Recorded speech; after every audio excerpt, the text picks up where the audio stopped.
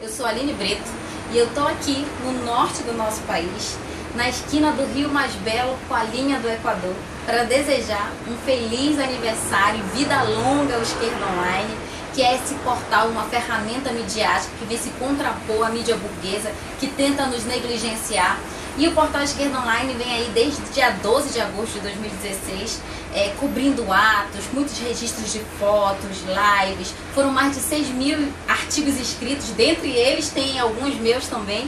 E eu me sinto muito feliz de poder saudar essa ferramenta maravilhosa que vem divulgando a luta da classe trabalhadora e principalmente semeando a resistência do nosso povo diante de todos os ataques. Vida longa, Esquerda Online!